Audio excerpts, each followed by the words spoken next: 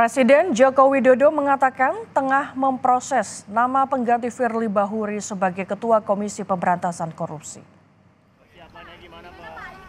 Langkah ini merespons surat keputusan Presiden tentang pemberhentian Firly Bahuri sebagai pimpinan KPK pada 28 Desember lalu. Jokowi juga berkata proses pergantian Firly akan mengikuti mekanisme dan aturan yang berlaku. yang sudah ditandatangani soal eh, eh, pengunduran diri Pak Firly itu. Ya sudah saya tandakan, Untuk proses seleksi pengganti Pak Firly nanti bagaimana? masih dalam proses semuanya. Pak tahun tahun Hmm? Masih dalam proses semuanya. Ya aturannya kita ikuti semuanya. Ya.